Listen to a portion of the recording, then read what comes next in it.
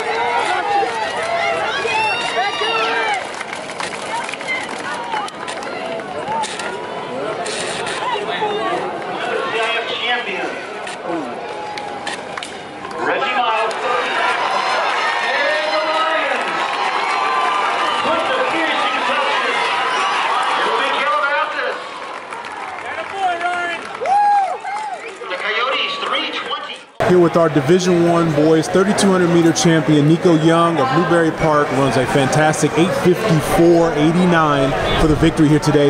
Nico, if you could, strategy coming into this one. Um, was there any point in the race where you really wanted to kind of attack? Was this more of a maintenance to kind of get you ready as we get closer to the state meet? Um, it was mainly just to get ready um, as I got closer to the state meet, but um, I definitely knew like coming into like the last like 1200 to pick it up to um, I don't know. It's kind of what my coach and I were thinking about doing. So. You know, this kind of follow the same pattern as prelims last Yeah. week. A little slower start, but then obviously the back end a little bit quicker. Yeah. Is this more of a, you know, just testing yourself out to kind of see if you need to race a different style maybe when you get to another race, Masters or State?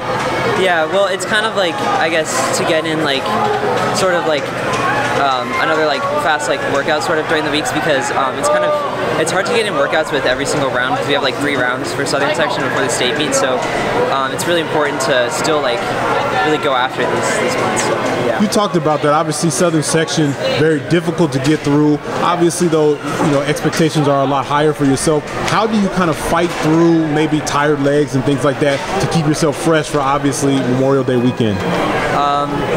Well, we're.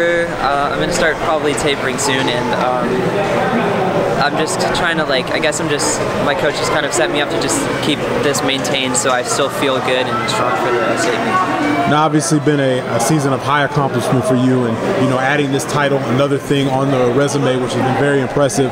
Um, as you move forward, you have the Masters meet next week. Obviously, that's a qualifier for state, so obviously, things that you want to do there. Just take me through the mindset as you prepare for that challenge, and then looking ahead, bigger picture. Um, the state meet, obviously, a chance to cement a legacy as one of the best distance runners and one of the top distance running seasons for you. How will you go about trying to get ready for these challenges coming up? Well, this coming week, I'm gonna um, definitely prepare to win Masters, and then um, give it all I have and peak at the state meet. And yeah. We look forward to seeing it again. Congratulations for Nico Young, Division One, 3200 meter champion, 854.89 here today. Congratulations, Nico.